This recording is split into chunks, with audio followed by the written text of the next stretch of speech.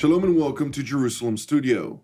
In July of 2015, the five permanent members of the UN Security Council plus Germany reached a historic accord with Iran, an agreement that in effect limits the Islamic Republic's nuclear program in return for international sanctions relief, which crippled Tehran's economy that was under dire distress.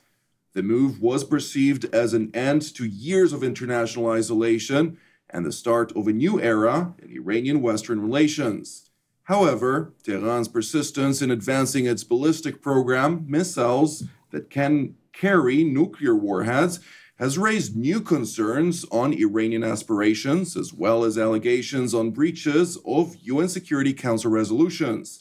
With us to discuss this matter are Mr. Meir Javedanfar, an Iranian expert from uh, the IDC in Herzliya. Welcome. Thank you. I'd like also to welcome our TV7 analyst, Mr. Amir Oren, and Dr. Eldad Pardo, an Iranian expert from the Hebrew University of Jerusalem, as well as from uh, Impact SE. Welcome. And I'd like to start with uh, a question to you, uh, Amir. When it comes to the, the perception of the situation post the nuclear agreement, there was some kind of hope by some people, skeptics on the other side, with regard to uh, whether this agreement would actually lay ground and will really uh, be established in a manner that would uh, heal many, many wounds which have been out there for quite some time now. Uh, give us a little bit of an understanding. What is the situation? Where is this going to? It remains to be seen how it will play out. Perhaps it is too soon to judge already. But if people are surprised by the fact that uh, there is no love lost yet between Iran and the West, one should be surprised by the surprise. Of course, there are many, many fields of competition in addition to the cooperation in the nuclear arena on one specific agreement. Even Britain and Argentina went to war over the Falklands, even though they are supposedly on the same side in the world.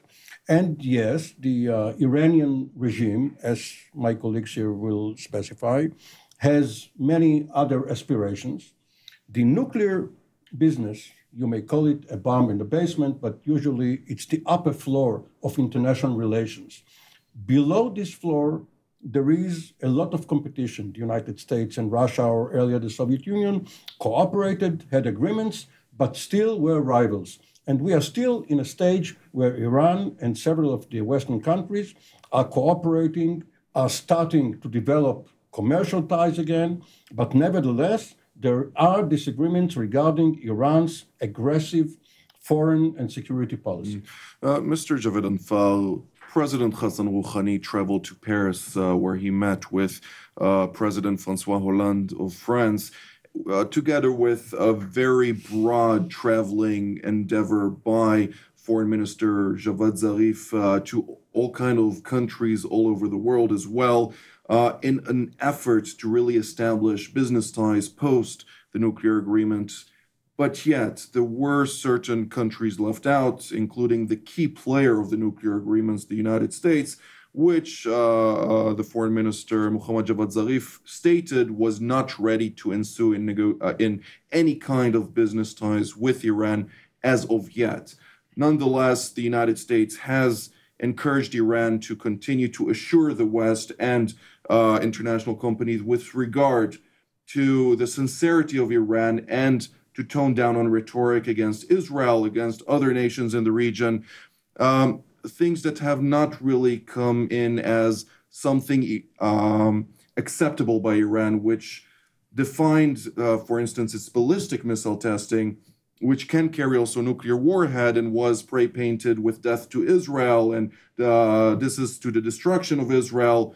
Uh, a lot of rhetoric against Israel, stating this is for defensive purposes, signaling to the West, no, we're still a strong nation with a lot of pride. What is happening here is Iran some uh, uh, in a, a, pickle of uh, domestic turmoil where one side wants one thing but the other wants another? Or is this an Iranian signal that nothing has changed? We're united in front of the West? Well, the Iranian political world is divided into two spheres one is the regime, one is the government. The government of Mr. Rouhani has tried to reduce tensions with the international community. Even Mr. Rouhani said that our, our missile our program does not pose a threat to any country. Now, in the in the to the untrained ear, it doesn't sound much, but actually, it's a signal also to Israel. Because before they usually just used to say we don't pose a threat to any country except Israel. Now they don't even say Israel. Why? Because Mr. Rouhani wants to reduce tensions because he needs something like 30 to 50 billion dollars of investment for Iran's economy and he needs to work with the international community. He needs to have the French come in and build, for example, the Imam Khomeini airport so that the new Airbus 380 can land there and can get the passengers off because Iran does not have the capability to do it. And the IRGC does not have the capability to develop Iran's oil fields. So that's what he wants. So he's trying to reduce tensions. On the other side, you have the regime. And it's the regime which is responsible for the missile program, not the government. It's the IRGC, which is part of the regime, which is responsible for the uh, missile program. Number one, they are very concerned by the overtures of Mr. Rouhani in terms of reaching a deal with America and improving relations with Europe. Why?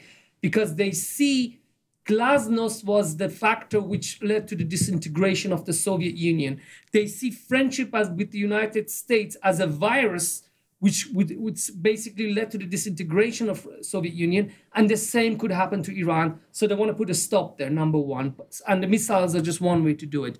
The other reason is well, if you have French companies coming to Tehran and Austrians and British, then who's gonna what's gonna happen to the IRGC contract? They're gonna mm-hmm. lose out. So when you put these two together, the, the regime, which is mainly the revolutionaries, are going to insist on making sure that the West and Israel, especially Israel, is threatened because that's how they can keep the political and economic But who rules Iran currently, Dr. Pardo? Isn't the IRGC the the strongest military force in Iran these days, and isn't the regime the supreme uh, ruler of the Islamic Republic, or is the government now garnering more and more powers in order to establish a new Iran, which has uh, uh, good ties with the West? Well, I think what, what Meir said, and correctly, is that there is the regime, the government. And so the government is like uh, under the regime. They, the, the government uh, is, this is an Islamic concept of shura, consultation. It's not a democracy, just consulting the leader. And uh, the leader's perception and the, they, uh, Rouhani and Khamenei work together for, for decades the, the pragmatic wing of Rafsanjani Rouhani in the 1990s and also during the uh, negotiation between 2003 and 2005, their strategy is to uh, drive a wedge between Europe on the one hand, United States on the other. So they keep the big Satan, small Satan, and all the, the, nuclear uh, and hegemony, all of this intact, as we've heard, while opening the doors uh, towards uh, Europe, getting uh, Peugeot, Airbus, all, all, all, the stuff that you could get from Europe. During the time of Ahmadinejad, either because of Ahmadinejad or because they wanted to push ahead with the nuclear program and also make the nuclear program a national uh, issue uh, other than Islam uh, itself, then they try to make another balance, the West on the one side, and then a, a, policy that tried to get closer to the East, to China, Japan, Korea, North Korea, all, all of these. It didn't work so well, and the, pressure, the Americans were extremely successful in, in, in, uh, in their pressure, sanctions, and so on. So now they reached the deal and they returned to the former policy of uh, dividing dividing the West, and it seems it works. Mm. Well. the, the, Please, it's not it's not only the West, of course. You see that in the letter to the Security Council, Russia and China uh, are left out regarding the missile uh, test. Mm-hmm. Uh, even the letter itself is a very weak protest. Uh, it, it, goes on record. For the sake of our viewers, the letter is uh, a letter by France, uh, the United States, Germany, and Britain. Britain, in which they uh, accused uh, Tehran of breaching a resolution by the UN Security Council. And what does this and actually? What are the implications of no, this? No implications because the uh, the uh, Security Council resolution was uh, phrased in such an ambiguous way to begin with, in order to enable the July agreement. to, to be signed. So it is, uh, it is no surprise. But even if you look only at the United States, and as Dr. Pardo said, trying to, to drive a wedge between the United States and the European partners, not only the United States and the three Western European partners and Russia and China,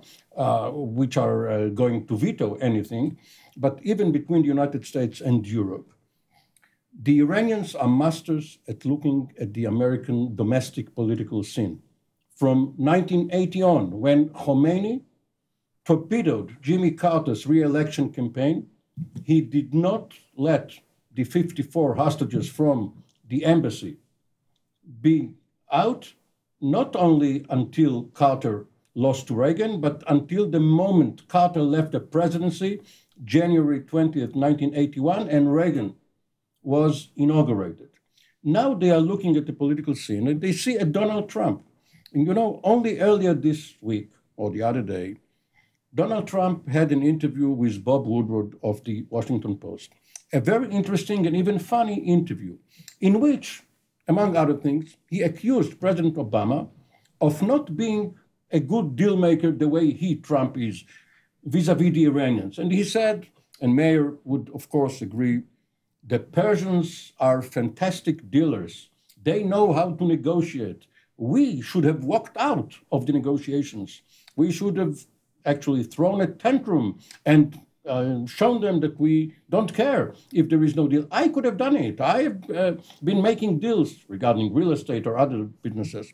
So, going back to the Iranians, they see a Trump as a possible next president of the United States. They would rather deal with an Obama, and perhaps they prefer a Hillary Clinton, and therefore we could see in the run up to the elections this fall a new rapprochement between Iran and the United States on other fields, not only on the nuclear one. Mr. Javedanfar, I'd like to hear your response with regarding to this on the one hand, and on the other, you stated that uh, Hassan Rouhani, the president of Iran, said to the international community that nobody should be afraid of this ballistic uh, testing.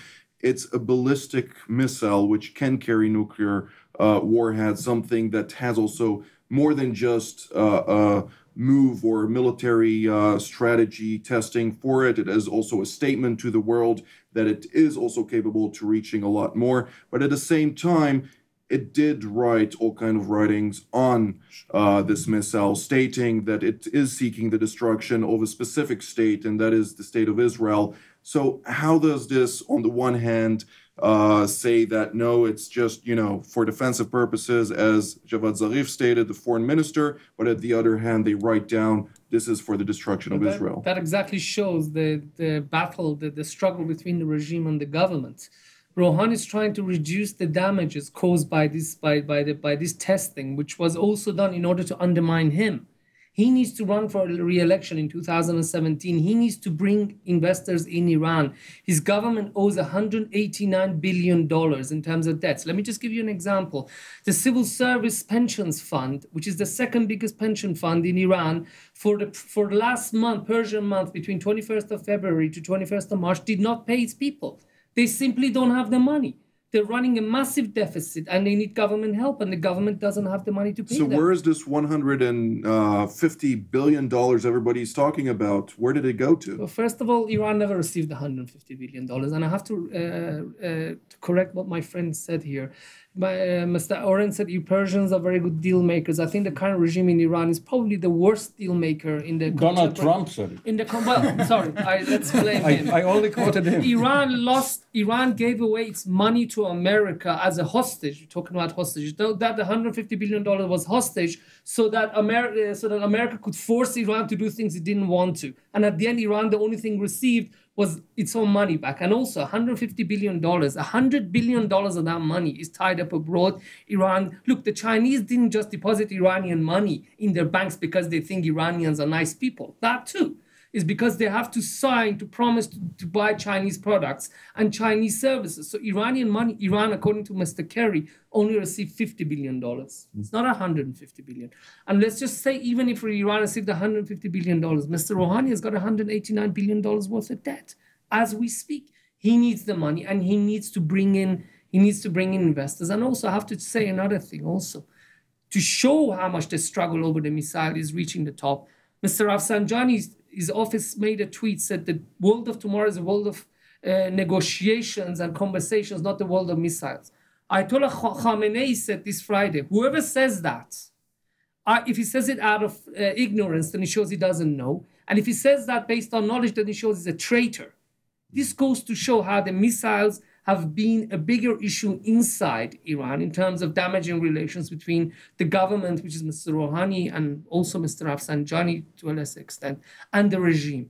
So, yes, we in Israel have every right to be threatened by a regime that writes these things on its missiles, but we also have to be uh, cognizant of the fact that this is very much part of the struggle between those who want the, Repub- the revolution to be normalized, which is Mr. Rouhani, and those who want it to continue, like Mr. Khamenei. Dr. Pardo, do you agree with that? And is this indeed uh, the understanding of the, the structure of Iranian leadership, where Supreme Leader Ayatollah Ali Khamenei, he is indeed the supreme leader, or is there a shift in the power where uh, what President uh, Obama actually spoke about plenty of times, and many have ridiculed those statements in which there is a shift of power in Iran, and this shift is uh, nearing in.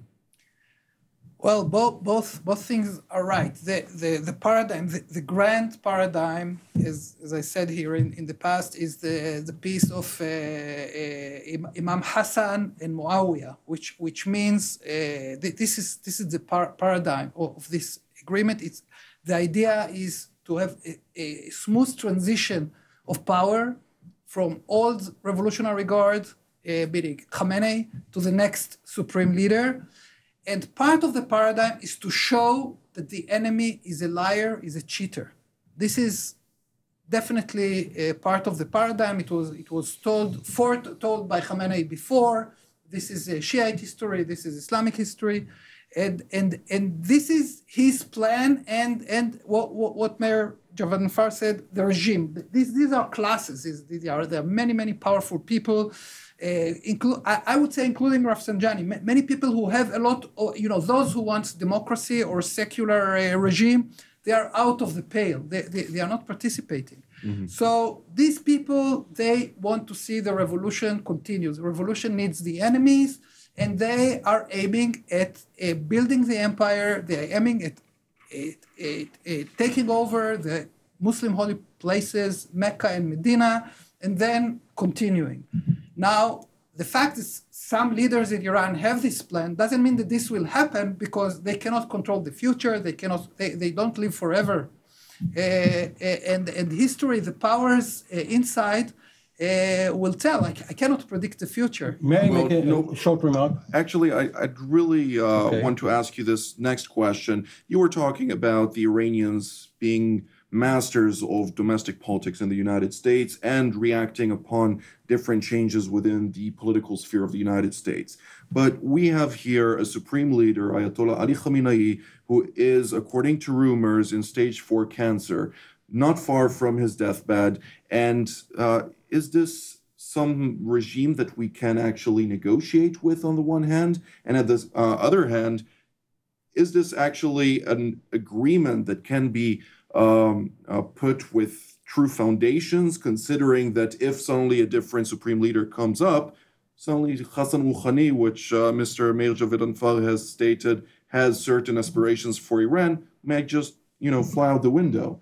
Well, Where is this happening? Well, obviously, the Iranians know that they are under a magnifying glass regarding their compliance with the provisions of the agreement. And they know that Benjamin Netanyahu, among others, perhaps even before others, will pounce on them if he finds that they are cheating. As Dr. Pardo said, they are saying that the enemy is cheating and lying. But obviously, everyone is waiting to catch them at their cheating and then say that the uh, agreement is uh, null and void. But a couple of remarks regarding that. First of all, if you look at it from the perspective of uh, Khamenei and the Revolutionary Guards, they have to tell their audience, okay, we signed an agreement, or Rouhani and Zarif signed an agreement regarding stopping our work for the next 10 years or so on the nuclear bomb. However, there are two other routes to what we need. And one of these two other than the weaponization and the uh, enrichment of the material, is having a vehicle, a platform for this nuclear bomb should the time come. So you see, we are not standing still. We are now working on the missiles so that uh, in due course, if we have a nuclear bomb or nuclear warhead, it will ride on this missile. But it uh, was in 1998, almost 20 years ago, that an American uh, survey headed by Donald Rumsfeld, who at that time was just a retired defense secretary, he was going to come back to the administration, had a very ominous report that in 2015, last year, the Iranians will have an intercontinental ballistic missile able to hit Washington and New York. It didn't happen yet. Now, should Israel be afraid of these missiles? The answer is no. First of all, because perhaps Netanyahu is waiting for a pretext to hit Iran, and they are not going to supply Israel with such a pretext. And secondly, because Israel has been hit for so many times over the last 25 years, from Iraq on, by Hezbollah, by Hamas, the population here uh, is almost immune to these attacks if they are conventional. And as long as the Shahab missiles and the other missiles do not carry nuclear warheads, one should see it as almost a natural development, not a positive one, but a natural one. Let's so, not forget also Arrow system. Israel is equipped with the Arrow system, sure. and it's equipped with satellite system, and it's equipped with the probably the best air force. Look for Iran. There's another angle. There's another side of the coin here also. Um, one of the reasons why Iran develops its missile technology. Let's just say there's a democracy in Iran tomorrow. Okay, Iran will still develop its missile technology, at least in the short term. The reason being is this the Iranians are far behind in terms of making a fighter aircraft. They bought fighter aircraft from Russia, MiG 29s and Sukhoi 24, but even the Russians started cheating and not giving them the spare parts. Never mind the Americans. The Russians, during sanctions, were playing games with Iran. And this is on top of the fact that the S 300 missiles are eight years late and apparently only going to be delivered now. And and as the old saying goes, seeing is believing. And that's the downgraded level. So that's yeah, it's like mm-hmm. having a 2007 antivirus on your PC re- to receive a S300 missile. Mm-hmm. This is the, the, Russians don't even use it. So when the Iranians look at these things, they say, okay, we also need deterrence. This this and I think this is across the board. We need to have some kind of deterrence so that tomorrow, if the Iraqis or just like the Iraqis or firing missiles at Iran. Anybody else who threatens us, then we can use it as a kind of deterrence because we can't exactly use our air force. And let's be honest, the Iranians sent forces into Syria, and it seemed that they didn't do too well. I mean, they, they suffered from casualties. They withdrew them. They withdrew the IRGC. Now they're going to send the army. Let's yeah. see how well they do. So look, there are also those in Iran, which I think includes people who don't want to threaten Israel, who don't see the missiles in order to threaten Israel, to see it as a genuine deterrence force. But as with everything else, there are those in Iran who see the survival of the Islamic Republic as being a revolutionary state. Mm-hmm. And at the core of Iran being a revolutionary state is to challenge the United States and especially the state of Israel. Dr. Pardo. I think, uh, you know, this is this is uh, definitely correct, but uh, the, the question is uh, how how how are you what's the interpretation uh, against the back, back backdrop of, let, of, let me rely on this for you. Yeah. You have stated for many many uh, years the same uh, aspirations of iran that iran is seeking to dominate its region it seeks to dominate the world and the rhetoric doesn't matter how many agreements, it's just to stall uh, Western uh, aspirations for global peace in order to deceive them and reach a different result? Well, f- fact of the matter, if, if you look today, where Iranians, uh, wh- where you see Iranians, you see them in, in Yemen, you see them in Lebanon, you see them in Syria, you see them in Iraq, you see them in, in Afghanistan. So they are moving ahead uh, steadily and and and, the, and, the, and they continue with the with, the project. And and I want to add another thing. Look look look at Rouhani, the same strategy that he did in the 90s and between 2003 and 2005. I said it, but he gave a, a, an interview before before the elections, and, and he explained, we reach a deal on the on the technological dimension of our security system that, that we already uh, control, that we have the, the good command. So we reached a deal about the centrifuges. We, we, we had 150 uh, centrifuges. Now they are 2,000, 3,000. Now we already now, uh, 10 years later, there, there are 6,000 or something along these lines. But uh, uh, with the, the, the deal that he had at the time with the European, it allowed him to do the UCF, the uranium uh, conversion facilities in Isfahan, uh, to, to produce other technological dimensions. And of course, they worked in Parchin and they worked in, in, in, other, in other places. The same today. What, what said is, is right on target that they have weaknesses in the defense system, whether it's Air Force, whether it's actually building the bomb, whether, whether are the, the missiles, the ballistic missiles, as, as we heard. So Rouhani said, fine, we have a deal, we, have, we know how to enrich. We can do it in a year, we have it. So we have 20%, 70%, 60%. That's not important. In a year, we have the, the uranium. Now we need to work on the bomb, we need to work on the missiles, we need good airplanes, we need the deterrent, all of this. So they continue, and, and, and they continue to send uh, boats to Yemen. Mm-hmm. You see them all over. They destroyed Iraq. They destroyed Iraq. America left Iraq functioning democracy, exporting oil, everybody happy. Came the Iranians, and here Iraq is destroyed. same with Syria. You had peaceful demonstration of hungry farmers came Iran and they start shooting. They thought it's it's it's like the same, uh, you know. And mm. look what happens. We're running so, out of time. Um, last sentence from you, Mr. Amir Oren. I'll give each one of you a sentence, please. A self-defeating suggestion because people are watching us on television. But why don't you put it on mute? I don't mean our show. I mean what the Iranians are showing. Because if you don't listen to what they say, it is important for the analysis, for the experts. But if you only watch what they do, as President Nixon used to say, watch what we do, don't listen to what we say, their actions will speak louder than words.